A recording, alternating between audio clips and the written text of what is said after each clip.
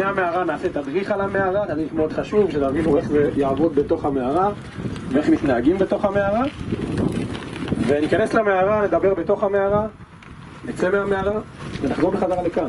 סך הכל טיול די פשוט, לא מאוד מורכב ולא מאוד ארוך, אבל אה, מערה מאוד מאוד מגניבה ומאוד מאוד יפה ומאוד מאוד מעניינת.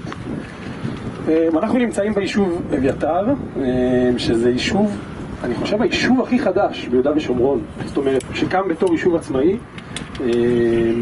שיש לו סיפור מעניין, אה, זה יישוב שקשור לתנועת נחלה. ונעשה תצפית קצרה על מה שאנחנו רואים, איפה אנחנו נמצאים.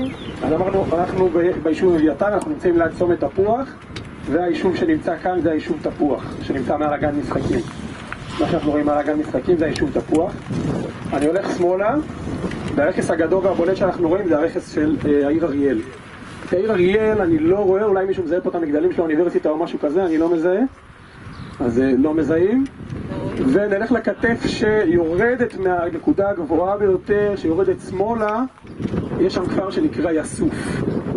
הכפר שנקרא יסוף הוא משמר את השם יישוב, שזה אה, אה, יישוב שמופיע, יישוב בשם יישוב שמופיע אה, בתרגום היווני של, ה, אה, של התנ"ך, של ספר יהושע, ומעל הכפר, יישוב, מעל הכפר יסוף אנחנו רואים הר יותר רחוק, אה, עם איזושהי כיפה שטוחה כזאת והרבה מאוד בתים. מזהים על מה אני מדבר?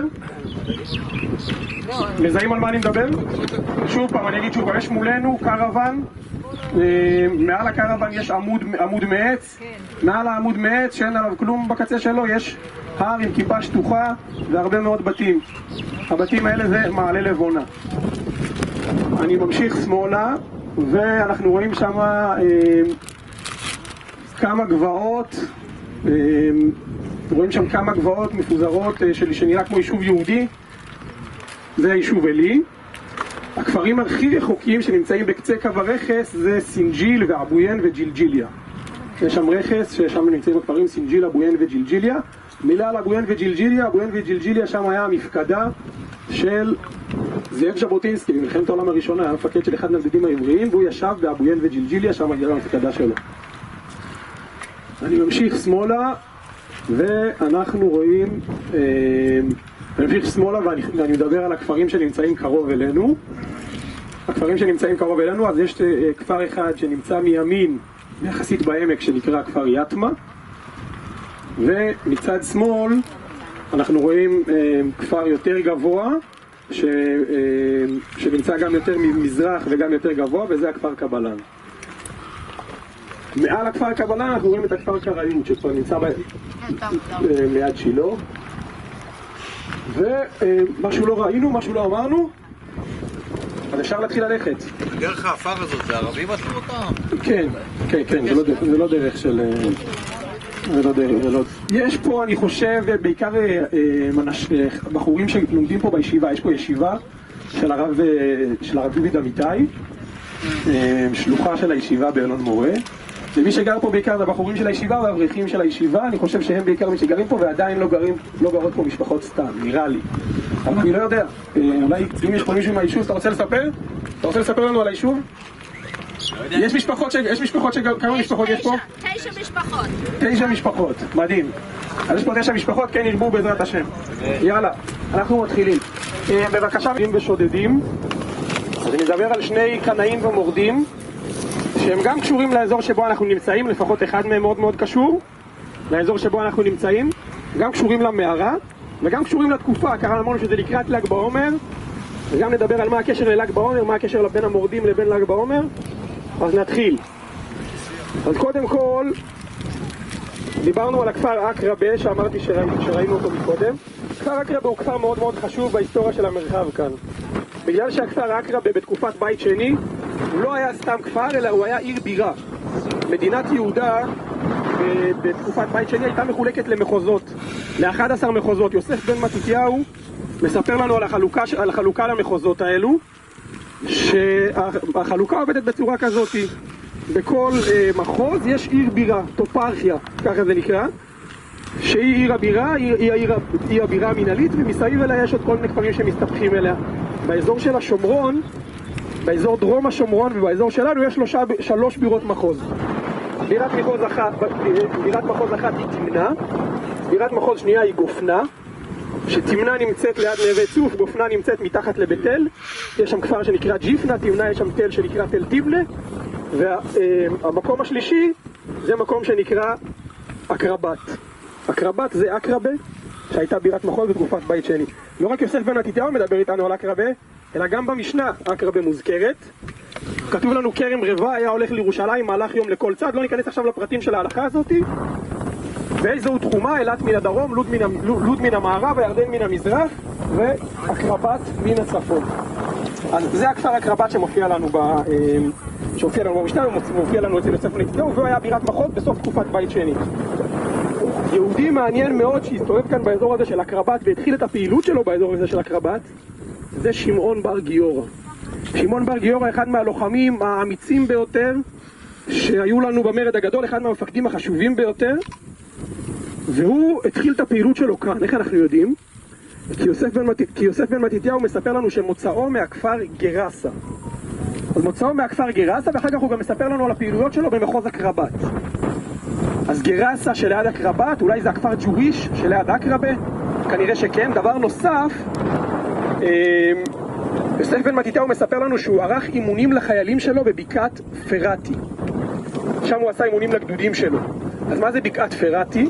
ליד הכפר ג'וויש, שאמרנו שהוא נמצא שם, שהוא נמצא ליד הכפר אקרבה, יש חורבה. החורבה נקראת חירבת כפר עטיה. זה השם שהשתמר, שככה קוראים לערבים היום. חירבת כפר עטיה.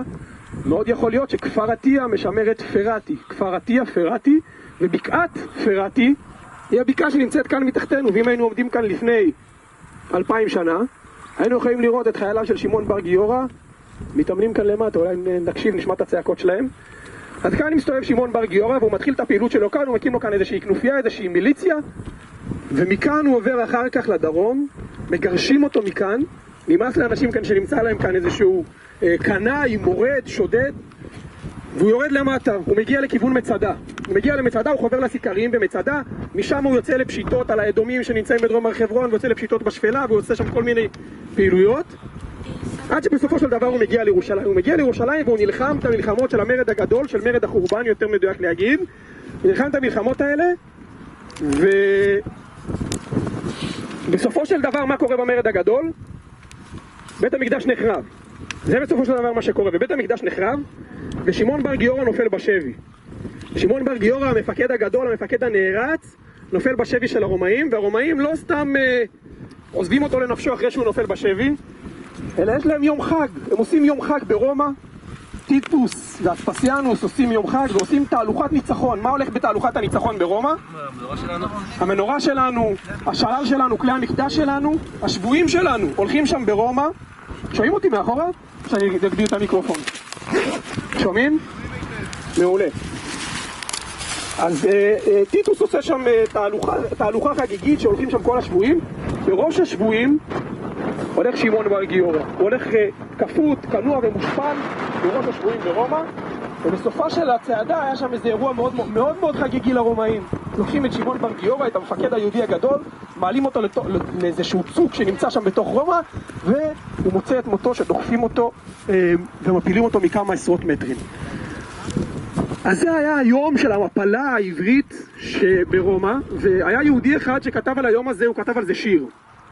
היהודי הזה זה אורי צבי גרינברג, שהוא משורר מאוד מאוד מאוד חשוב, שאני מאוד מאוד אוהב, היה קשור גם לתנועת הלח"י, ויש לו הרבה מאוד שירים שהוא מדבר על הקנאים ועל המורדים, ואורי צבי גרינברג מספר על טיול שלו שהוא עושה ברומא, הוא מטייל ברומא והוא נזכר ביום, ביום החג הזה, ביום של החגיגה של הרומאים, על המפלה העברית, הוא נזכר בשבויים שהולכים שם בתוך רומא, והוא מתחיל לחלום ומתחיל לדמיין איפה הקבר של בר גיורא. הוא מדבר על טיטוס, אני עוד שנייה אקריא לכם את השיר, הוא מדבר על טיטוס והוא מתאר את התכשיטים שיש לטיטוס הוא אומר יש לו נחש מזהב שעומד לו על הראש שכנראה הזהב שלו מאיפה? מבית המקדש, יש לז... לנחש הזה אין ברקת תותבת, שמאיפה אין... מאיפה הברקת הזאת, האבן הטובה הזאתי? נעקרה מהחושן, מהאורים והתומים. הוא אומר ככה, פה, פה היה יום חג המפולת העברית ותגבה גולגלתו של טיטוס מחריבי. ויהי ודאי זרו מזהבי רקוע, כנחש, ובעינו ברקת תותבת. ולחש הנחש הזה, אשר נעקרה מאורי ותומי, מהאורים והתומים. ולחש הנחש הזה היה הסכם לרינת עם רומי שיכור הניצחון. עבדה יהודה, אמנם עבדה. ואת זה ראו שבויי נושאי שלל ירושלים וכלי אלוהי מנהר מוריה על כתפיים מאוחות ואת זה שמע אוזנם ובתוכם גיורא. ואז הוא מתאר שהוא מגיע למלון שלו והוא אומר איני חולץ מנעליי, איני פושט בגדיי אלא צונח ורובץ וחולם חלום שיכור יהודי אבל ברומא. בור קבר מגולה. כאן בור בר גיורא ואין חוליות ממת ואיפה הסדין אשר בו עטפו או אולי לא עטפו כלל בסדין, סתם כמו כלב בחוץ ערפו וישלחו לבור מגרדו? אולי טיבר, טיבר זה הנהר ברומא, אולי טיבר הנהר גרפו ופולו בר גיורא? ואז הוא מסיים והוא מקלל את רומא והוא אומר, הללי לי אם זה כך בר גיורא, ארורת רומי לעד לי לעד, מה טוב כי קיללתי את רומי ברומא. היינו חושבים שפה יסתיים הסיפור. כישלון מוחץ כזה, אבל פה הסיפור לא מתחיל, פה הסיפור לא מסתיים, פה הסיפור רק מתחיל. כי כשבר גיורא נהרג, אז בר גיורא, האיש הזה מת, אבל הרוח שלו המשיכה, ובסופו של דבר בשנת 1907, אלפיים שנים מאוחר יותר, פחות, קצת פחות מאלפיים שנים, ארגון המגן היהודי הראשון בארץ ישראל קם, וקוראים לארגון הזה בר בר גיורא, על שמו של בר גיורא, מאוחר יותר זה יהיה כבר ארגון השומר. ואני חושב שהסיסמה של בר גיורא, הסיסמה של הארגון הזה היא המסר מהסיפור הזה, מהסיפור של הקנאים, מהסיפור של המורדים והשודדים. הסיסמה של הסיפור הזה, הסיסמה של הארגון הזה הייתה בדם ואש יהודה נפלה, בדם ואש יהודה תקום. אז זה הסיפור על בר גיורא. שנייה, אני בודק אם זה הצבא, סליחה. לא, זה לא הצבא. זה אחותי. פה הסיפור, אז אמרנו שאנחנו עכשיו נעבור, נעבור לשלב הבא. עכשיו דיברנו על בר גיורא שהיה מפקד במרד הגדול, במרד החורבן, יותר מדויק. אבל במרד החורבן, היישוב ביהודה, מדינת יהודה לא נחרבה לגמרי. בית המקדש נחרב, ירושלים נחרבה, כמה כפרים מסביב, אבל עדיין באזור הזה היישוב היהודי כנראה המשיך להתקיים. מה שקורה, קורה 60 שנה אחר כך, במרד שנקרא מרד בר כוכבא. מה שקודם למרד בר כוכבא, היה קיסר אחד שקראו לו הקיסר אדריאנוס, אה, שאנחנו קוראים לו שחיק עצמות, שחיק תמיה, אדריאנוס שישחקו עצמותיו. אם נרצה להגיד היום על מישהו יימח שמו, אז פעם היו אומרים שישחקו עצמותיו. זה קיסר שאנחנו מאוד מאוד לא אוהבים במורשת שלנו ובהיסטוריה שלנו. ובשנת 130 לספירה אדריאנוס עורך ביקור בכל מיני ערים באימפריה שלו, עד שהוא מגיע בסופו של דבר, הוא מגיע לארץ ישראל. הוא מגיע לארץ ישראל והיהודים מתרגשים לפני שהוא מגיע. אומרים, אולי הוא יסכים לנו לחדש את בניית בית המקדש. אולי הוא ייטיב איתנו, כי אדריאנוס היה נחשב בהתחלה קיסר נאור. אבל אדריאנוס מגיע לירושלים, והוא מקים שם עיר עילילית, עיר שנקראת איליה קפיטולינה, והוא הקים מקדש לזהוס על הר הבית. והוא חורש את העיר בתשעה באב, בתשעה באב נחרשה העיר, והיהודים שומעים את זה, היהודים נוגעים להם במקדש, בכל הארץ יהודים מתחילים להתכונן למרד. אני אגיד לכם, אה, קצת יש לנו מקור היסטורי אחד שמתאר לנו את מרד בר כוכבא, אני לא אכנס עכשיו לעומק לבר כוכבא, אבל יש לנו מקור אחד שנקרא קסיוס דיו, שזה היסטוריון רומאי, שזה המקור ההיסטורי היחיד שמתאר לנו את מרד בר כוכבא, והוא מתאר לנו את החורבן הנוראי והעוצמתי והכמעט סופי שקורה אחרי מרד בר כוכבא במדינת יהודה. אז הוא אומר מלחמה לא קטנה ולא קצרה נגרמה כאשר ייסד אדריאנוס בירושלים עיר במקום זו שהוחרבה, אשר הוא קרא לילה קפיטולינה וכאשר הוא הקים במקום מקדש האלוהים מקדש אחר לזהוס. ואני מדלג לסוף הסיפור. שהוא מתאר מה קורה אחרי, אה, אחרי המרד, מה קורה בסוף. אז סתם שנבין את הסדר גודל של האסון הנורא שמגיע בעקבות זה. הוא אומר חמישים ממצודותיהם העיקריות, כן, של היהודים חמישים ממצודותיהם העיקריות ו-985 מכפריהם החשובים ביותר נחרבו 985 כפרים, 50 מצודות וכמה הרוגים? יש למישהו ניחוש כמה הרוגים? ניחושים אוקיי, מיליון? מיליון זה קרוב אז אנחנו לא יודעים בדיוק כמה הרוגים אנחנו יכולים לשמוע למה שאומר קסיוס דיו קסיוס דיו הוא היסטוריון רומאי שרוצה להוציא את הקיסר אדריאנוס כקיסר יחסית נאור אז כנראה שהוא יפחית בכמות של ההרוגים אז הוא אומר לנו 580 אלף איש נהרגו בהתקפות ובקרבות ואילו את מספר המתים ברעב, עם מגפה ומאש, לא ניתן היה לברר. זאת אומרת, חצי מיליון הרוגים רק מהקרבות, ואנחנו, זה עוד לפני שדיברנו על הרוגים מהרעב ומה, ומהמגפות ומה, אה, ומה, ומהאש. אנחנו מדברים פה על מיליונים של הרוגים. זאת אומרת, רק חצי מיליון מהקרבות מדברים על מיליונים של הרוגים, זה האסון הגדול ביותר בהיסטוריה שלנו מבחינת מספר הרוגים חוץ מהשואה. מרד בר כוכבא, זה, זה מרד שהוא מאוד מאוד אה, זה. ביהדות, ביהדות יש, בגמרא יש כמה, יש קצת בבבלי, קצת בירושלמי, יש, יש גם קצת הבדלים ביניהם, יש ממש סיפורים קטנים, אז אין לנו כל כך הרבה מקורות. אחד מהדברים שאנחנו כן יודעים, ופה אנחנו כבר נכנסים לסיפור של ל"ג בעומר שקורה ביום ראשון, אחד מהדברים שאנחנו כן יודעים, שרבי עקיבא קדהה וחמי בר כוזבא, שרבי עקיבא היה רואה את בר כוכבא, הוא היה אומר, דן, זה, הוא אמר, זה, כשהוא היה אומר אותו, הוא אומר, דן הוא מלכה משיחה. זה מלך המשיח. אפילו הרמב"ם אמר עליו שרבי עקיבא היה נושא כליו של בר כוכבא. ההמשך של, הג... של הגמרא, שאומר לו רבי יוחנן בן טורטה, אומר לו איזושהי אמירה שאפשר לשמוע הרבה אנשים, האמירה הזאת מצלצלת לנו.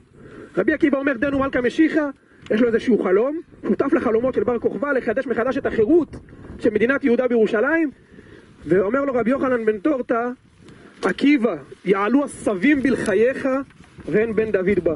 יצמח לך עשבים מהלחיים לפני שיבוא בן דוד. ואיך זה קשור, איך אנחנו קשורים, איך אנחנו קשורים לל"ג בעומר? איך זה קשור לל"ג בעומר? איך זה קשור מרד בר כוכבא? אז קודם כל רבי עקיבא הוא הבוס של בר כוכבא או הרב של בר כוכבא. לא בטוח שהוא היה הרב שלו, אבל בכל אופן הוא תמך במרד. ואחד מה, מהסיבות למנהגי האבלות בל"ג בעומר... לא, שנייה. אחד מהסיבות למנהגי האבלות של ל"ג בעומר זה, אמרו 12 אלף זוגים תלמידים היו לו לרבי עקיבא, זאת אומרת 24 אלף תלמידים היו לרבי עקיבא וכולם מתו בפרק אחד מפני שלא נהגו כבוד זה בזה. טענה כולם מתו מפסח עד עצרת בזמן של ספירת העומר. אמר רבי חמא ברבא ואיתמר רבי חייא ברבין כולם מתו מיתה רעה זאת אומרת, 24 אלף תלמידים האלה מתו מיתה רעה. מה זה מיתה רעה? אז אה, רב נחמן בגמרא אומר שזה אסכרה, אנחנו לא כל כך יודעים מה זה אסכרה ומה זה מיתה רעה, אבל אחת ההצעות שהם מתו מיתה רעה, אם אנחנו חוזרים לרבי עקיבא ולתלמידים של רבי עקיבא, אז 24 אלף תלמידים של רבי עקיבא, בוא נחשוב, אם, אם, אם, אם רבי עקיבא אומר על בר כוכבא, דנו מלכה משיחה, מי הראשונים שהצטרפו למרד של בר כוכבא? התלמידים של רבי עקיבא, אלה הראשונים. ובאיגרת רב, שריר, רב שריר הגאון כתוב שהיה שמדה ולכן מתו 24 אלף תלמידי רבי עקיבא. שמדה במקורות שלנו זה הרבה פעמים מדובר על גזרות השמד של אדריאנוס. אז מאוד מאוד הגיוני ש-24 אלף התלמידים של רבי עקיבא הם נהרגו במלחמות במרד בר כוכבא. זה נוגד את הגמרא מפני שלא נהגו כבוד זה בזה, זה הסיבה הרוחנית. זאת אומרת, לא, הם לא מתים, בן אדם... מה זה? גם במלחמה, אם אין כבוד... גם במלחמה, עכשיו אם נחזור לסיפור הזה שלא נהגו כבוד זה בזה, אז כשאנחנו מבינים שהתלמידי רבי עקיבא מתו אומרת בר כוכבא, אנחנו יכולים גם להבין עוד כמה סיפורים שמופיעים לנו בגמרא על המוות של תלמידי רבי עקיבא. יש סיפור אחד שמתאר שהתלמיד של רבי עקיבא חולה, וחברים שלו לא באו לבקר אותו. ואז רבי עקיבא בא לבקר אותו, וטיטה שם וסידר את הבית, ורבי עקיבא כיבד, כיבד, כיבד וריבצו, בעצם סידר לו את הבית, איזשהו חולה, ובסוף רבי עקיבא אומר, אמ, כל מי ש, שנמנע מביקור חולים כאילו שופך דמים. נחשוב שנייה לתלמידים של רבי עקיבא, למה שהם לא יבואו לבקר חבר שחולה? לפי דעתי, הם לא באים לבקר חבר שחולה, כי החבר הזה שחולה, הוא נפצע בקרבות במרד בר כוכבא. נפצע בקרבות במרד בר כוכבא, ומי שיבוא לבקר אותו, הוא יסתכן, הוא יסתכן, הוא יסכן את החיים שלו. ולכן רבי עקיבא יוצא משם, הוא רוצה להגיד את המשמעות של מצוות ביקור חולים, הוא צריך להגיד כאילו שופך דמים, תדעו לכם, זו מצווה שאתם צריכים גם לסכן את הנפש בשביל לבוא לבקר אותו. עדות אה, מעניינת לקשר בין רבי עקיבא לבין מרד בר כוכבא, יש לנו עדות ארכיאולוגית, שאנחנו יכולים להסתכל על עדות ארכיאולוגית ולראות ולהגיד זה הקשר בין בר כוכבא לבין רבי עקיבא, ממש רואים את זה בממצא ארכיאולוגי. אז מה זה הממצא הזה? יש לנו מחלוקת בין רבי ישמעאל לרבי עקיבא. לגבי ארבעת המינים. רבי ישמעאל אומר שלושה הדסים ושני ערבות, כמו שאנחנו עושים היום. בארבעת המינים אנחנו שמים שלושה הדסים ושני ערבות. ורבי עקיבא אומר לולב אחד, הדס אחד, ערבה אחת ואתרוג אחד. כשאנחנו מוצאים את המטבעות של בר כוכבא, יש שם על הרבה מהמטבעות, יש סימן של, יש אה, אה, ציור של ארבעת המינים, ובארבעת המינים שנמצאים בטבעות של מרד בר כוכבא יש לולב אחד, הדס אחד, ערבה אחת ואתרוג אחד. שזה ממש ממש מיוחד בעיניי, שאפשר לראות את המסר של אה, רבי עקיבא. ואני כבר מסיים, אני רוצה להגיע למסר של כל הסיפור הזה, ואני חושב שהמסר של מרד בר כוכבא... אוקיי. אני חושב שהמסר של מרד בר כוכבא הוא אותו מסר של המרד הגדול. אז אמרנו שהיה לנו את המרד הגדול ודיברנו על בר גיורא, שבר גיורא נהרג אבל מיד אחר כך, לא מיד אחר כך, אלא 1900 שנה אחר כך הארגון בר גיורא הוקם. אנחנו מדברים על מרד בר כוכבא שמדינת יהודה הוחרבה, אבל לדעתי, שוב פעם, גם כאן, אה, יש שיר, יש משפט של אורי צבי גרינברג שהוא עומד, אמת היא תורת בר כוכבא גם בנפול ביתר. כי מי שמחובר לשאיפה, לקנאות, לחירות ירושלים, אז זה לא משנה לו אם אה, יש חורבן ואז קמים, ויש חורבן ואז קמים, כי בסופו של דבר מה שהחזיר אותנו לכאן, זו אותה רוח של בר כוכבא. ואנחנו יכולים לחשוב על רבי עקיבא, שהוא הולך, שהוא היה אה, שותף לקנאה הזאת של בר כוכבא, שותף לשאיפה לחירות, והוא הולך בירושלים, וכתוב שוב פעם היו עולים להר הצופים, סיפור שמופיע לנו על רבי עקיבא, והוא מגיע להר הבית ביחד עם אה, אה, רבי אלעזר בן עזריה ורבי יהושע, והם רואים שועל יוצא עם בית קודשי הקודשים. התחילו הם בוכים והוא מצחק. אומרים לו, עקיבא, אתה רואה שועל יוצא מקודש הקודשים, אתה צוחק? אומר להם, בגלל שאני רואה שועל שיוצא מקודש הקודשים, רבי עקיבא שהסתכל בראייה של נצח, הוא רואה את השועל שיוצא מקודש הקודשים, והוא מבין שמה שיקרה בהמשך זה עוד ישבו זקנים וזקונות ברחובות ירושלים. וזה התפיסה של רבי עקיבא, ואולי לזה, אני שואל, אולי לזה התכוון שאול צ'רניחובסקי בשיר שלו, שהוא מספר שמי שנכנס לארץ ישראל, נכנס כל הנכנס, פגע בו עקיבא. אומר לו, שלום לך עקיבא, שלום לך רבי, איפה הם הקדושים, איפה המכבי? אז אותו רבי עקיבא עונה לו, אומר לו, עונה, עונה לו עקיבא, אומר לו הרבי, כל ישראל קדושים, אתה המכבי. אז זה הציווי של רבי עקיבא, שנהיה המכבים, שנהיה הקנאים, שנזכה לחדש לחירות ירושלים בעזרת השם. אמן. מה שאנחנו עושים עכשיו, אנחנו אה, הולכים, אני מסיים לדבר, סותם את הפה, ואנחנו חוזרים, לה, אה, הולכים למערה שהיא נמצאת די קרוב אלינו. אה, לפני המערה נעשה תדריך ונסביר בדיוק מה זה. לא, לא שידוע לי, כאילו הגיוני שיש עליה זיתים וזה, אבל... מה גודל אה, המערה? גודל המערה היא מאוד מאוד גדולה, אנחנו ניכנס כולם ביחד ואנחנו נסביר, נסביר, לא לכל המקומות ניכנס כולם ביחד, נסביר בדיוק לפני שניכנס למערה. יאללה. שזו המערה שאני חושב שאני הכי אוהב אותה, גם כי היא ממש ממש יפה וגם כי היא ממש ממש גדולה וגם כי היא ממש ממש מעניינת. אז אה, כיף לכם שהגעתם וכיף לנו שהגענו. ואני אסביר עכשיו, חשוב מאוד להקשיב, כי אני אסביר עכשיו איך זה הולך להתנהל בתוך המערה ומה עושים ואיך זה, אז גם מי שלא מעניין אותו להקשיב להדרכות, אז שיקשיב לזה.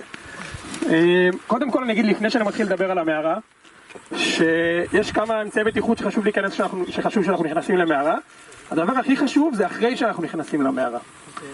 אה, אם במהלך היום הבאים מישהו מכם מרגיש סחרחורות, בחילות, וזה דבר ראשון שצריך ללכת, ללכת למרפאה, לספר להם הייתי במערה. היינו כאן במערה הזאת כבר עם מאות אנשים, זה לא קרה לנו עדיין אף פעם, אבל כבר אני אומר את זה, בעקרון גם ביקשנו להביא שרוולים ארוכים של החולצה ומכנסיים ארוכות כדי להיות עם בגדים כמה שיותר ארוכים, כדי להיות מוגנים מקרצייה שנושאת את קדחת המערות. כנראה שהיא לא נמצאת כאן כי היינו כאן כבר עם מאות אנשים וזה לא קרה, אבל בכל אופן חשוב לשים לב, וגם אם אתם, ומה שחשוב הוא, הכי חשוב, שאם אתם מרגישים לא טוב, פשוט תלכו למרפאה, תלכו למרפאה והכל יהיה בסדר, אבל, אה, אבל זהו. דבר שני, יש פה אלטוש. להגיד במרפאה שהייתם במערה. כן, דבר שני, יש פה אלטוש. אה, ממליץ לכם למרוח על, למרוח על הגוף לפני שאתם נכנסים. אה, יעבור בין כולם. איך שזה הולך לעבוד בתוך המערה, אתם רואים את העץ תאנה הזה? מעולה. עץ התאנה צומח ב, מקרקעית המערה, הוא צומח ללמעלה. אנחנו נטפס על עץ המערה וניכנס ללמטה. ככה אנחנו גם נצא מהמערה. מה זה? מה אמרתי? נכון. אז עץ התאנה שגודל בפתח המערה, אנחנו נטפס, נרד דרך עץ התאנה ונצא דרך עץ התאנה. כשאנחנו נכנסים למערה, יש למערה שני חלקים. יש לה חלק אחד שמאלי וחלק אחד ימני. אתם נכנסים ואתם תראו שיש לכם אפשרות ללכת ימינה ויש לכם אפשרות ללכת שמאלה. אם תלכו שמאלה, יהיה לכם ירידה יחסית תלולה, ואחר כך תגיעו לאולם ממש ממש גדול וממש ממש יפה, מלא בנטיפים, שזה החלק העיקרי והחלק החשוב של המערה. החלק הכי מעניין בעיניי והכי יפה. אולם גדול, יש שם מקום לכל הקבוצה הזאת, בכיף אפשר לעשות שם חתונות. זה החלק השמאלי, אם תלכו ותפנו שמאלה. אם תרדו למטה ותפנו ימינה. אם תרדו... חבר'ה, בבקשה בבקשה כולם להקשיב לי, כי מי שלא מקשיב לי אחר כך הוא ישאל שאלות והוא לא יבין ויעשה שם בלאגן בתוך המערה. אז אמרתי, אנחנו נכנסים למערה דרך העץ תאנה, יש אפשרות לרדת שמאלה ולהגיע לאולם הגדול, ואם נלך ימינה נגיע לאזור אחר של המערה שהוא מתחלק לכל מיני אולמות קטנים ומחילות ואולמות ומחילות ואולמות ומחילות שצריך לזחול שם עם הרבה מאוד בוץ וממש להזדחל שם. אז זה לחבר'ה הכי אמיצים כאן שרוצים ממש להגיע לכל מקום ולמצוא את התגלית הבאה של מערת אל ג'אנה ולמצוא אולי מטבעות שעדיין אף אחד לא גילה. אז אה, החבר'ה האלה הולכים ביחד עם נתנאל. נתנאל יעמוד שם בכניסה, וכל פעם ייכנסו קבוצות, קבוצות של... אה, תיכנס קבוצה של 20, נתנאל יעמוד שם, והוא יוביל אתכם במחילות האלה, רק שימו לב, זה צריך לזחול, צריך זה, צריך להעיר עם פנסים, צריך לדעת שאתם נכנסים ואתם יודעים לצאת בעצמכם, זאת אומרת נתנאל יוביל אתכם, אבל אה, יש שם, זה טיפה מאתגר. ההדרכה על המערה תהיה בתוך המערה, באולם הגדול של המערה. כן, אחר כך אתם יוצאים משם וחוזרים בחזרה לאולם השמאלי, האולם הגדול. ההדרכה על המערה תהיה באולם הגדול בשעה... רגע, אנחנו שילמנו לשניהם? כן, אתם שילמתם לשניהם, זה גם עם טיפ אבל גם, כאילו, סתם. יש שם שירותים? שירותים כן, כן. יש שם שירותים, אפשר להשתמש בשירות סתם. מאוד מאוד חשוב להשתדל כמה שפחות לגעת בנטיפים, הם נטיפים פעילים. זאת אומרת, הם עדיין נוצרים, אם אנחנו פוגעים בהם, אנחנו הורסים אותם, אנחנו מביאים, מזהים אותם עם פחמן דו-חמצני, וזה לא טוב. ומאוד מאוד חשוב גם לשמור על הניקיון, בבקשה, בבקשה, שום עטיפות, שום דבר, לשמור על המערה הזאתי.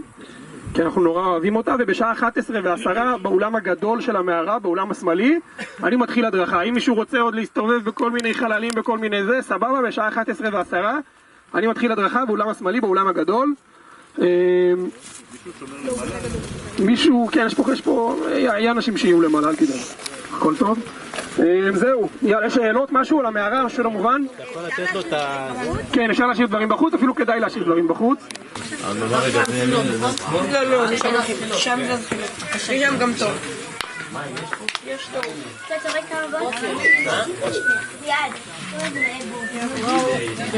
אה, שזה זה כיף? אני החלקתי באיתה.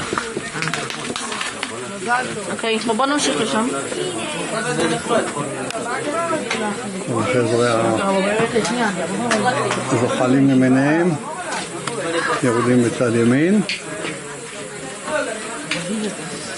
אנחנו יורדים לעולם בצד שמאל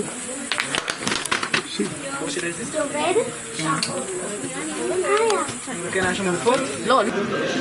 הנה הנטיפים מערת אל ג'אנם אתה יכול להסתובב, זה נכון.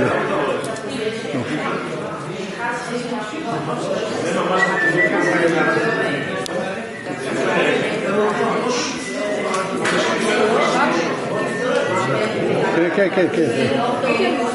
זה למעלה, אני לא יכול בפרויקט.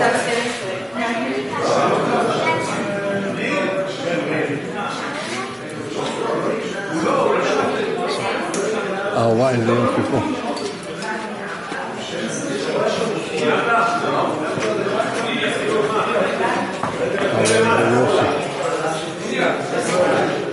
איזה יופי של נתיקים, ואיזה זקיף.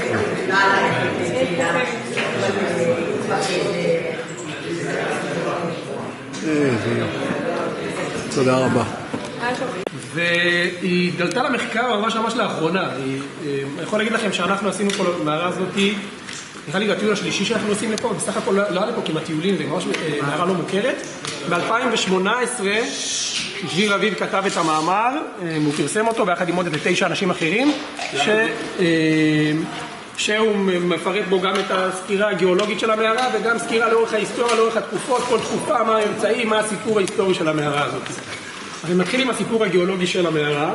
אז המערה הזאת היא, היא מערה קרסטית, ככה קוראים למערה מהסוג הזה. מה זאת אומרת מערה קרסטית? מערה שנוצרה על ידי חלחול של מים, על ידי המסע. המים המיסו את הסלע וככה נוצרה המערה. התקופה שהמערה, שהמערה הזאת נוצרה זה אה, תקופה מאוד מאוד קדומה, לפני הרבה מאוד שנים, ובתקופה הזאת המערה הייתה במפלס מי התהום. זאת אומרת, איפה שאנחנו לומדים עכשיו, כאן כנראה היינו עכשיו שוחים בתוך איזושהי בריכה, מי, בגלל שהיו במפלס מי התהום, היה כאן מים שהם אלה שהמיסו, שהמים האלה המיסו את המערה. המים בעצם הופכים לחומצה, הם סופחים אל, אל, אליהם, לתוך המים, פחמן דו-חמצני, הם הופכים לחומצה, ממיסים את הגיל, וככה נוצר כאן חלל שבתוכו היה מים. אבל זה היה בתקופה מאוד מאוד קדומה. תקופה ש... עכשיו אני אגיד כמה מילים שמי שיותר יש לו ידע במושגים אז הוא יותר יבין, מי שיש לו פחות אז הוא פחות יבין, לא צריך להיבהל, קצת קללות בגיאולוגית, אבל אחר כך אני אעבור לסיפורים ההיסטוריים.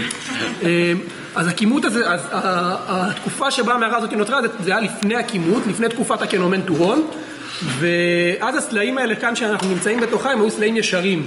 אנחנו נמצאים בתוך תצורת המנהדב, ובכלל כל ההר, כל הקמר שאנחנו נמצאים בתוכו עכשיו, קמר רמאללה, עוד לא היה קיים, וכל השטח כאן היה ישר ואופקי.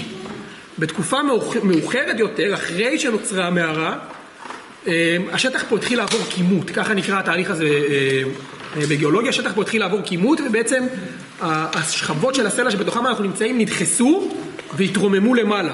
ככה נוצר לנו כל שדרת ההר של יהודה ושומרון, וגם המערה הזאת שבעבר הייתה חלל אחד ענק וגדול, בלי חלקים, שהיה בתוך מפלס מי התהום, הוא עלה למעלה, החלל בעצם עלה למעלה, התרומם, יצא ממפלס מי התהום, היה באוויר, והתחיל להתחל... ובגלל שהוא התרומם, הוא התחיל להתעוות, הוא התעוות לכל מיני אולמות וחללים ומחילות ומעברים, שמי שזחל שם הרגיש אותם טוב, שיש שם הרבה מחילות ומעברים. אבל לפני כן זה היה אולם אחד גדול. אה, בתקופה הזאת החלו לבצר הנטיפים והזקיפים שאתם רואים כאן. אז איך נוצרים נטיפים וזקיפים? אמרנו שהגענו לשלב שבו יש חלל בתוך הסלע שנוצר מהמסע של מים. החלל הזה הוא חלל סגור, ויש כאן מערה. ועכשיו איך נוצרים נטיפים וזקיפים? יורד גשם, הגשם מחלחל לתוך הסלע, הוא ממיס ביחד איתו אה, את הסידן של הסלע, הוא מגיע לחלל, הוא מגיע לחלל ואז הוא, אה, הסידן בעצם נפרד מהמים ונשאר על תקרת המערה. מגיע עוד טיפה, מביאה עוד טיפה סידן, מגיעה עוד טיפה, מביאה, מביאה איתה עוד טיפה סידן, עד שנוצר לנו אה, נטיף. כשזה מטפטף למטה, הסידן מטפטף למטה, נוצר זקיף, ככה נוצרים הזקיפים והנטיפים. בתקופה מאוחרת יותר של המערה נפער אה, חור בתקרה של המערה, החור שדרכו נכנסנו. מהחור הזה נכנס הרבה מאוד אה, סחף, הרבה מאוד אה, אבנים והרבה מאוד אדמה שדרכם ירדנו למטה. כן, וזה בתקופה מאוחרת יותר.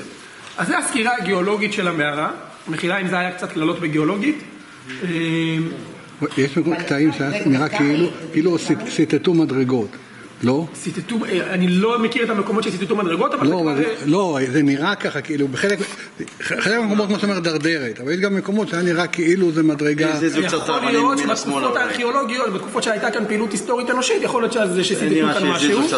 הגיוני, הגיוני מאוד. בת כמה המערה, אז אמרנו שהמערה הזאת, אנחנו נמצאים בתוך תצורת המנהדב. זה, אני לא יודע להגיד לך בדיוק, אבל זה באזור ה-70 מיליון שנה, משהו כזה. אה, זה ה... בקטנה, לא. כן, לא, לא הרבה זמן, סתם. אה, איך אני אומר את המספרים האלה? כי אני יודע מה התצורה שבתוך החלל הזה נמצא, ואני יודע מה הגיל של התצורה. התצורה היא תצורת המנהדב. למה מנהדב? למה מנהדב? כי הגדירו את התצורה הזאת ליד היישוב המנהדב. לכן קוראים לה מנהדב. טוב, ועכשיו הגענו לסקירה ההיסטורית של המערה הזאת. במערה הזאת נמצאו, נמצאים מהרבה מאוד תקופות. מהמערה הזאת נמצאו ממצאים מהרבה מאוד תקופות. כן. מהמערה הזאת נמצאו ממצאים מהרבה מאוד תקופות, בעצם משמונה תקופות שונות, דביר אביב פרסם את המאמר, שמונה תקופות שונות שנמצאו כאן ממצאים במערה הזאת, שמשתרעות על, על, על פני ארבעת אלפים שנה. שמונה תקופות על פני ארבעת אלפים שנה, זאת אומרת אנחנו מתחילים מהתקופה הכלכוליתית עד לתקופה הממלוכית, יש כאן, בכל פעם אנחנו יכולים למצוא כאן חרסים או מטבעות, אנחנו יודעים לתארך אותם לתקופה מסוימת. עכשיו, כשאנחנו מוצאים בתוך מערה כזאת שעדיין אנחנו רואים שלא הכשירו אותה למגורים, אנחנו רואים, מוצאים כאן למשל סירי בישול או מטבעות או כלי אוכל, מה אנחנו יכולים להבין על הפעילות האנושית שהייתה כאן בתוך המערה? רועה צאן או מורדין. רועה צאן, שזה אפשרות שהיא פחות... אה, פחות. אחסון, יכול יש כל מיני אפשרויות, אבל האפשרות הסבירה ביותר, במיוחד כשאנחנו מצרפים לזה מקורות היסטוריים, חבר'ה בבקשה, הדיבורים מאוד מאוד מפריעים לי. במיוחד כשאנחנו מצרפים לזה מקורות היסטוריים, אנחנו יכולים להבין הרבה פעמים שאנחנו רואים כאן נמצאים של סירי בישול או דברים כאלה או מטבעות, שיש אנשים שברחו למערה הזאת, שהסתתרו במערה הזאת, מכל מיני סיבות. עכשיו אני אדבר על כמה תקופות שנמצאו כאן נמצאים במערה ואנחנו ננסה לחבר את התקופות האלה למקורות היסטוריים, למה שידוע לנו שקרה בתקופה הזאת אנחנו נחבר את זה למקורות היסטוריים למה שידוע לנו שקרה בתקופה הזאת וככה אה, ננסה להבין למה בעצם אנשים ברחו למערה הזאת. ניקח את הממצא הארכיאולוגי, ניקח את הסיפור ההיסטורי ונחבר ביניהם ובעצם נדובב את מערת אל-ג'אנב שתספר לנו את הסיפור של אנשים שברחו לכאן. אז קודם כל התקופה המאוחרת ביותר שנמצאו כאן נמצאים במערה זה התקופה הכלקוליטית. אה, המערה הזאת היא לא מערה יחידה. המאוחרת, הכלקוליטית, זו התקופה המאוחרת, המוקדמת, סליחה. התקופה המוקדמת ביותר, התקופה הכלקוליטית. אה, מלפני בערך 5,000 שנה, זה המערה הזאת לא נמצאת כאן לבד, אה, זה לא המערה היחידה שיש בה ממצאים מהתקופה הזאת, יש עוד מערות באזור שיש לה ממצאים מהתקופה הזאת, לדוגמה מערת כהנא שנמצא שם מטמון של שמונה מטילי זהב. איפה? אה, זה לאחרונה. כהנא. מערה ש... וגם מאותה תקופה, שכנראה יכולים להעיד על פעילות דומה, אבל אני מדלג על התקופה הכלכוליתית ועל כל הפרה-היסטוריה, יש לנו אחר כך גם ברונזה קדומה וברונזה מאוחרת, שנמצא, שנמצא כאן בתוך המערה. אה, לא כזה קריטי עכשיו לדבר על זה והתיארוך של התקופות האלה, אבל תקופה מעניינת יותר שאנחנו מגיעים אליה היא תקופה שנקראת במחקר תקופת הברזל אחד. תקופת הברזל אחד זה תקופת ההתנחלות, בעצם התקופה שבני ישראל נכנסים לארץ ישראל, בני ישראל יוצאים ממצרים, נכנסים לארץ ישראל ומתחילה תקופת השופטים, תקופת ההתנחלות. אה, ואנחנו מוצאים כאן ממצאים שמעידים על איזושהי פעילות של אנשים שברחו לכאן מהתקופה הזאתי. עכשיו אנחנו מנסים לפתוח את התנ"ך ולראות מה קורה בתקופה הזאת ואיך אנחנו... ואיפה כתוב לנו שאנשים ברחו למערות בתקופת שופטים? מישהו יודע? גדעון? גדעון, יפה מאוד. מה זה? גם במלחמת יהושע. גם במלחמת יהושע, אבל כתוב שהם ברחו למערות, אה, מלכים לתוך מערה אחת, אבל לא... מרגלים.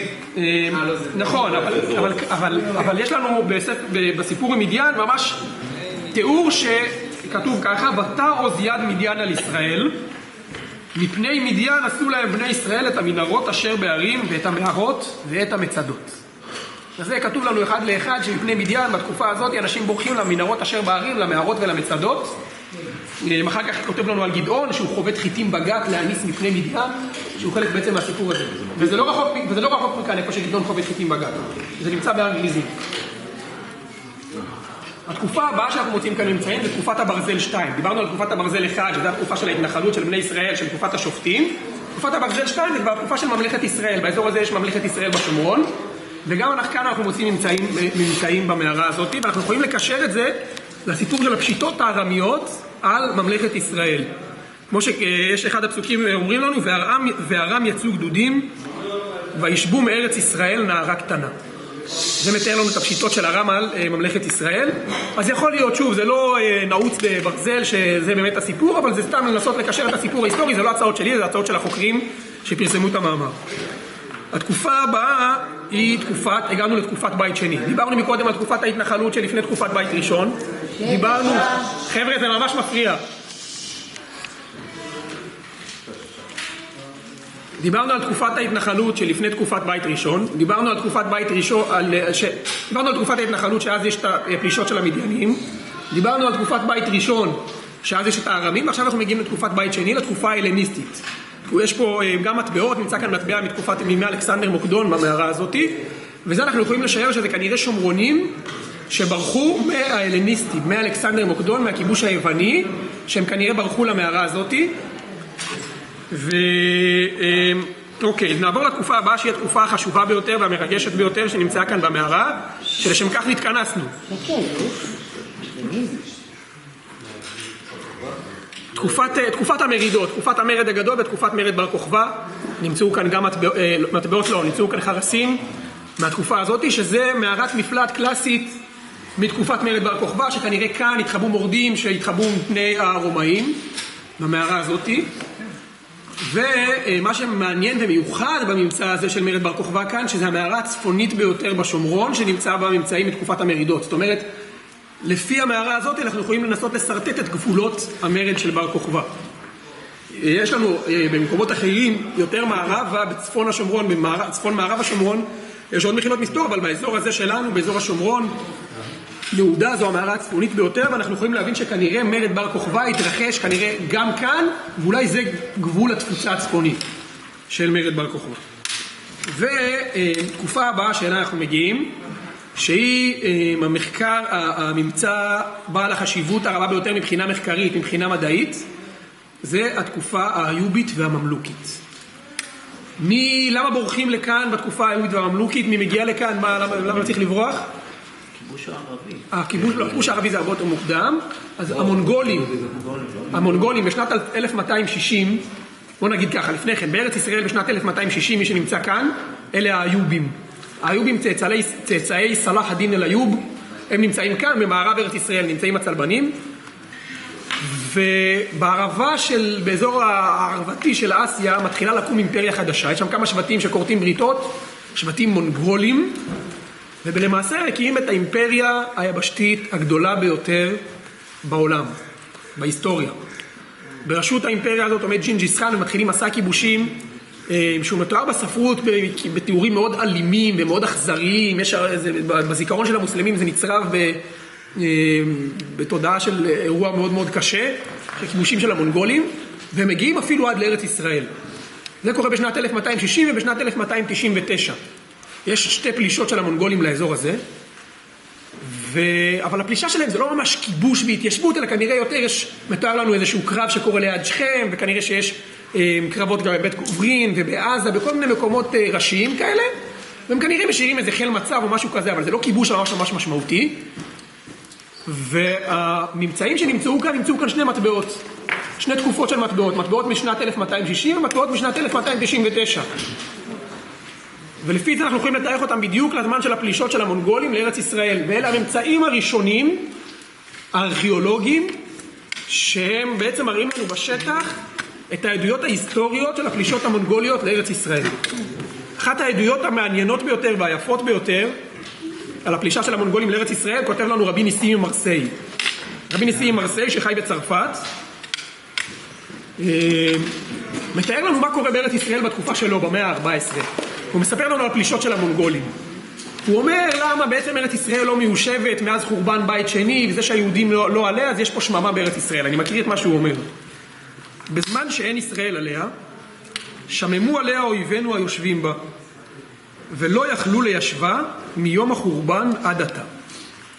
ותמיד התעוררו מלחמות על יושבי ארץ ישראל. עכשיו הוא מתאר את מסעי הצלב, את הכיבושים המוסלמים, שלוש פעמים הלכו בה הנוצרים ושלוש הישמעאלים, מיום חורבן בית השני עד עתה. ואף הזמן שהחזיקו בכל אחת משתי אומות אלו לא ישבו בה לבטח, רק תמיד קול פחדים באוזניהם ואימות מלחמות לישמעאלים והנוצרים, הישמעאלים לנוצרים. לכן לא נתיישבה עד עתה ישיבה הראויה לה. אז הוא דיבר על מסעי הצלב ועל המלחמות של הנוצרים והמוסלמים, ועכשיו הוא אומר, ומלבד זה, אומות אחרות מדרום הארץ ומזרחה, כאן הוא מגיע למונגולים, מדרום הארץ ומזרחה מתאווים ומשתוקקים אליה.